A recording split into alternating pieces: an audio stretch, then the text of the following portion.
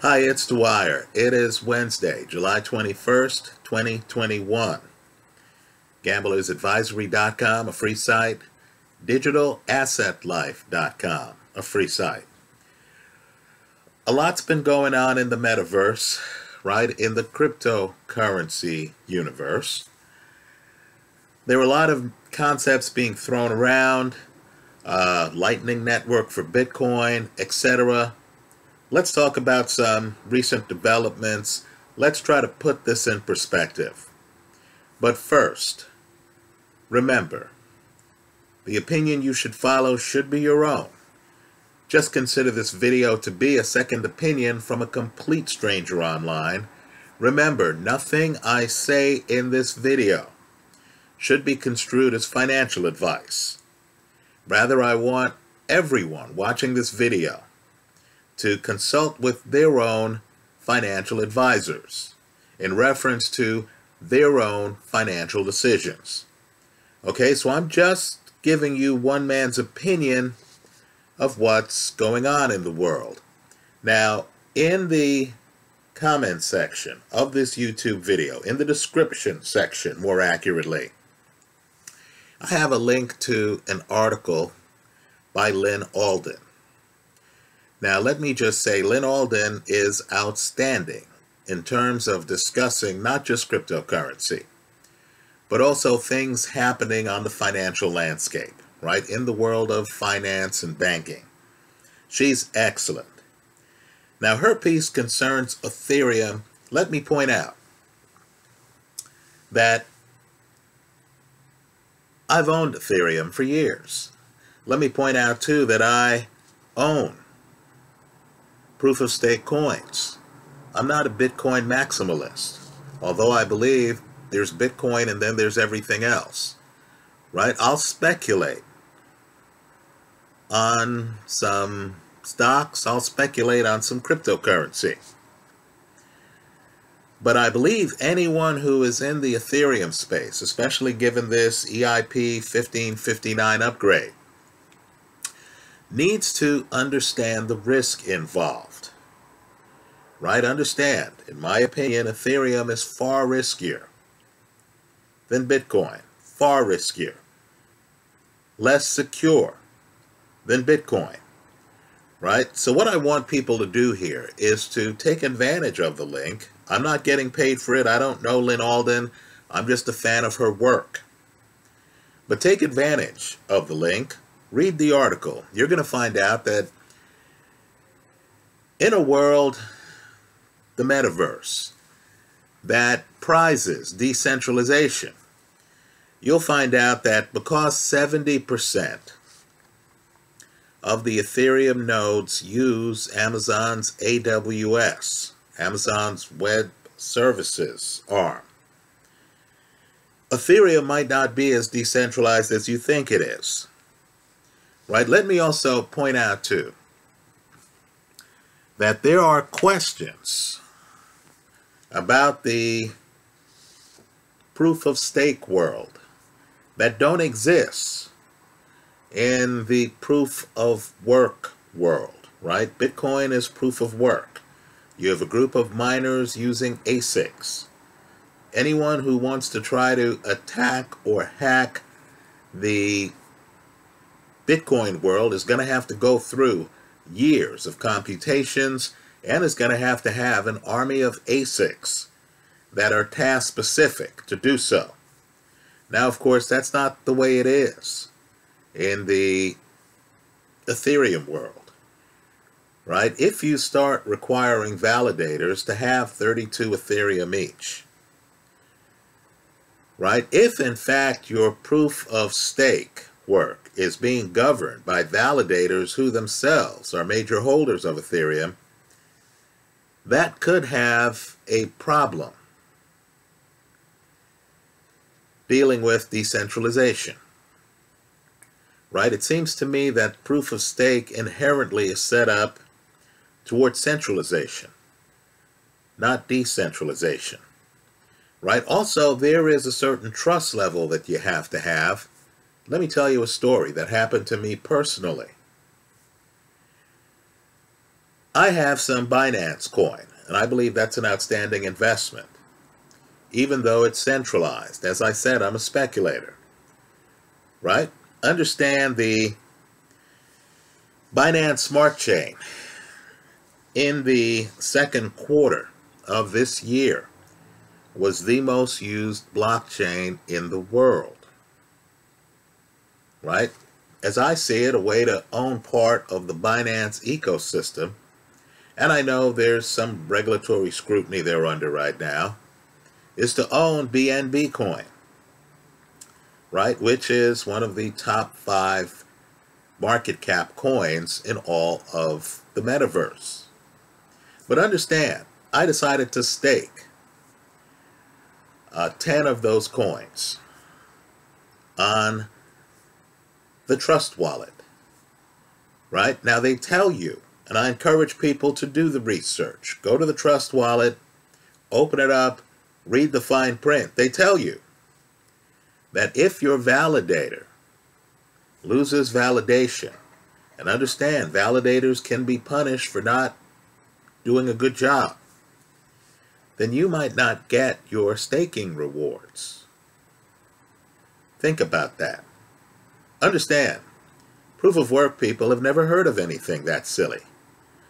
Because in the Bitcoin world, the miners are out for themselves.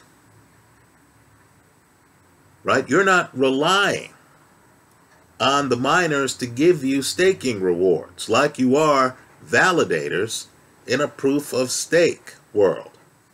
So I had my Binance coin, uh, which I delegated to a validator. Uh, you get to hold on to the coins. The validator can't run off with your coins. You always own them, right? But the validation allows them to use the coins in such a way that they're supposed to be staking rewards that you get. They're supposed to get compensated. You're supposed to get compensated. Well, after the period of time where I was supposed to get compensated came and went without me getting compensated. I noticed that a lot of people were redelegating away from my validator. Right? Apparently my validator wasn't doing a good job. So it was up to me to hustle, to get away from this validator, to redelegate with another validator. I want people to understand that that's the risk in the proof of stake work world, excuse me. If you're with the wrong coin or you're in the wrong situation. Right now I have several proof of stake coins. Right? I'm speculating on getting the high staking reward some of them offer. But as I see it, and I know there's the environmentalist crowd out there that wants you to believe that using natural resources to help people become financially independent is somehow a misuse of natural resources. Right? They're upset with Bitcoin because guess what? The ASICs do run on electricity. Right? Well, I would argue that there's no more valuable reason to use natural resources other than creating food and water than to provide people with financial self-sovereignty. Well, just understand the Bitcoin ecosystem is inherently decentralized, right? The miners want to make a profit. They're competing against each other. In the Ethereum space, right, Ethereum 2.0 that's coming, you're going to have to trust validators. In a metaverse that really prided itself on being trustless, now you're going to have to start trusting people. It's even worse than that. We're supposed to believe that the fees are going to drop, right? Uh, that somehow this proof of stake, in addition to being more environmentally sound, is going to, you know, allow you to drop fees. Well, you know that saying, you get what you pay for. Would it surprise you to know that EIP 1559 allows for tipping? In other words, I'm doing a transaction on the Ethereum 2.0 network, and I can say, you know what? I want to offer a tip because I want to make sure that this transaction gets prioritized. I need this done quickly. I need this done right. Don't you think the idea that you can offer a tip is going to lead us back to where we were with exorbitant fees? Aren't people going to start offering larger and larger tips just to jump the line? Well, let me just say the Lyn Alden piece is riveting. I hope people give it a look. I hope people understand the risk involved. I'm not trying to dissuade anyone from being involved with proof of stake coins. Just understand they're not as secure as Bitcoin. They're not as hard to hack as Bitcoin. Your relationship with the people who process the transactions will have changed materially. And of course, proof of stake, because I have to own a certain amount of Ethereum to be a validator. Right? Proof of stake, in my opinion, is more inherently centralized than the decentralized proof of work. Let me also say, too, we could all go around pretending that our coin is decentralized. The Bitcoin people know their coin's decentralized. Right? The Ethereum people, if I'm a nefarious actor, why don't I just find a way to take down Amazon Web Services? That'll knock down 70% of the Ethereum nodes. Right? Understand too, I don't have to be some illegal nefarious actor to do so. I can just be the paragon of legality in this current world, the government itself right? I'm not saying that they're moral. I'm just saying that they define what's legal. I could be the government. And I can say, whoa, wait a moment. Ethereum's doing too much. We have concerns. I want to get votes from or dollars from some legacy finance constituency. Right? So I'm going to launch an investigation of Ethereum. Guess what? given the concentration of nodes using Amazon's web services, I actually have a hammer I can drop that'll greatly disrupt the Ethereum network. Folks, you simply don't have that with Bitcoin. The link to the Lyn Alden piece is in the description section of this video. I encourage those of you who want to learn more to give it a look. Let's talk about the framework a little bit more. It's important. Now, Michael Saylor likes to break up the metaverse into four categories. Right? One is digital property. Think Bitcoin. Right? It's like having gold coins in your pocket you understand only 21 million Bitcoin will ever be minted. Unlike Ethereum, there's no question about the quantity.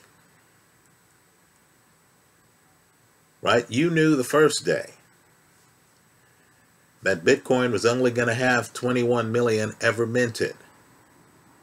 Right? This didn't change over time. It's not like halfway through you suddenly heard, hey, we're going to go to proof of stake. Then you suddenly heard, hey, we've decided to be somewhat deflationary for now, right? No, no, no. With Bitcoin, you knew the deal the first day you had it. There are only going to be 21 million minted, period. There are no addendums right? Only 21 million. So you have it in your pocket and you understand there's inherent scarcity here. I don't have to worry about politics. I don't have to worry about directional right turns. They're only going to be 21 million. If this digital property appreciates in value, your coins are going to be worth even more.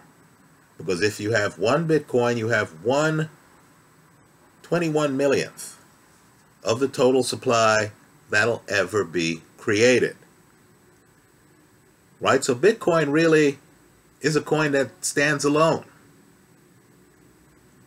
Right? It's digital property. Then, of course, you have a means of exchange. Right? You don't want to bring gold coins to the marketplace because the gold coins are just worth too much. Right? The gold coins are your long-term investment. So you're going to use silver if you're using a means of exchange that's not a joke like Dogecoin. If you're using a limited supply means of exchange, you're going to use something that you can actually quickly use with vendors. Right? I take out a silver coin. Silver is undervalued let's say that silver coin costs, oh, 23 to $27, depending on what's happening at the moment. The cashier can give me change. I can make the transaction quickly. Right? Coins that operate with a certain level of quickness can be used as a means of exchange right? You want to separate out those coins from digital property. Then, of course, you have the digital platforms. I would consider Ethereum to be part of a digital platform. Right? A digital platform are railroad tracks in essence. Right? They get you from here to there. If you're using an ERC20 token, right, it runs on the Ethereum platform.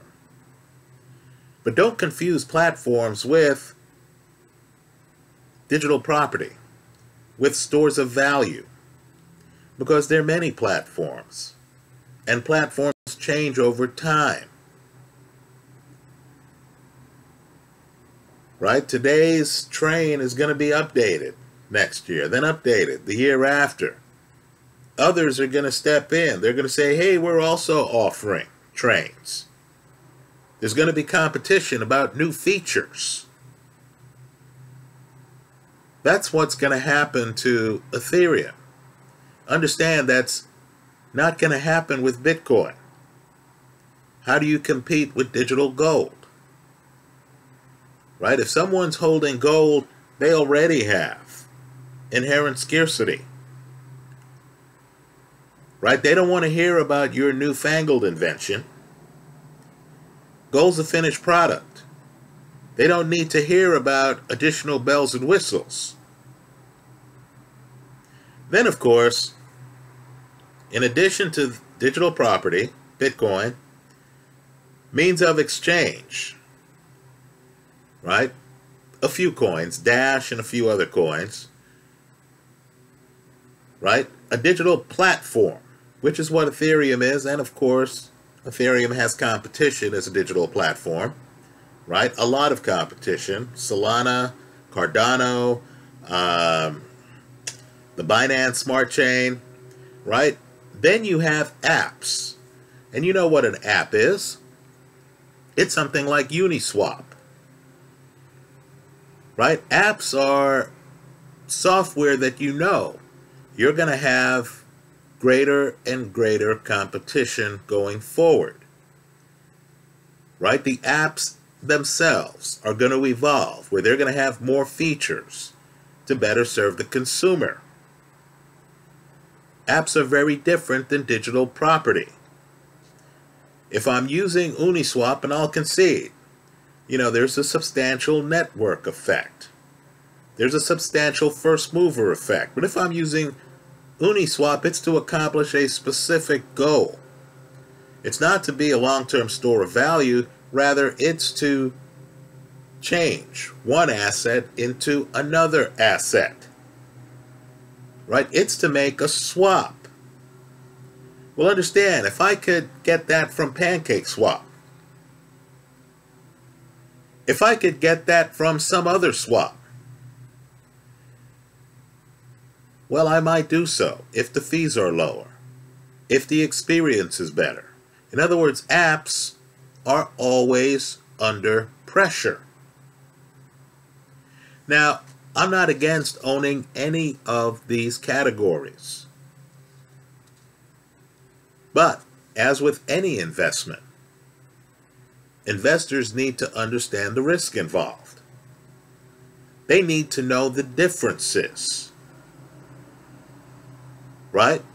Bitcoin, which is digital property, is very different from Uniswap. I was out the other day and someone came up to me and wanted to know my thoughts on Dogecoin. I thought, you got to be kidding. Right? Here I am valuing scarcity. Here I am looking for gold. Limited supply. Highly valued. Right? In the case of Bitcoin, the hardest digital asset to hack. Here I am looking for gold, and someone's talking to me about a digital fiat currency you might as well be talking to me about a central bank issued digital currency. Right, folks? They're apples and oranges. Recognize the difference. Finally, let me close by saying Bitcoin maximalists these days have reached the point where they're talking about the Lightning Network as possibly allowing Bitcoin to jump the fence, to go from being a store of value to also being the consummate means of exchange. Understand the Lightning Network allows me to buy a cup of coffee quickly with a Bitcoin. Right? The idea is that the network allows a lot of transactions to happen and then processes them as one transaction on the Bitcoin blockchain. The Lightning Network is spreading like wildfire. People like Jack Mallers, who, in my opinion, makes the best argument for Bitcoin maximalism. I encourage you to look up his interviews. He's with Strike, an interesting app. Right? Jack Mallers is working right now with the government of El Salvador to spread the Lightning Network through that country, right? The idea is that if I can use Bitcoin, the hardest cryptocurrency to hack, as a means of exchange, right, with a high throughput and quick time of transaction, why do I need any other means of exchange coins? Right? Now just be aware that Bitcoin right now is threatening to take over the world. There is going to be consolidation in the space. But let me just tell you my libertarian view here. I like competition. I like the idea that coins like Dash, which is an excellent means of exchange, have privacy features that Bitcoin doesn't have. While, of course, having a limited supply, right? Dash, of course, years ago was a fork off of Bitcoin, right? So I don't want, for purely selfish reasons, I don't want even a dominant cryptocurrency like Bitcoin to take over the world to the exclusion of other forms of payment. Right? I like some competition. It's comforting to me to know that even an Amazon faces competition from Walmart. Right? Let's keep Goliath innovative. Let's force Goliath to actually deal with a marketplace that's competitive. But just understand, the Lightning Network is a significant development in the world of cryptocurrency. Right? Just understand that Bitcoin, the ultimate digital property, with the development of the Lightning Network, is threatening to obviate many means of exchange coins. Right? That's how I see it. Let me hear from you. The coins I'm looking at right now, um, I thought I would be loading up on Solana um, in the last few weeks, but Bitcoin dropped so much. Yesterday it was below $30,000 a coin that I found myself buying Bitcoin, right? I do plan to get to these high throughput coins like Solana. I already own some Solana. Cardano, I believe they're going to take off. And of course, I love what Dash is doing, right? I hope people give Dash a look. I understand Ashton Kutcher in a recent podcast mentioned Dash with his wife, right? Uh, Dash, by the way, is holding up nicely with this crypto upswing. Well, anyway, um, I do hope you give the Lyn Alden article a look. Understand, I'm not against speculating in Ethereum or other proof of stake coins. But you need to understand the risk involved, right? It's your money. You need to treat it well. That's how I see it. Let me hear from you. I hope you leave your comments in the comment section of this video. Thanks for stopping by.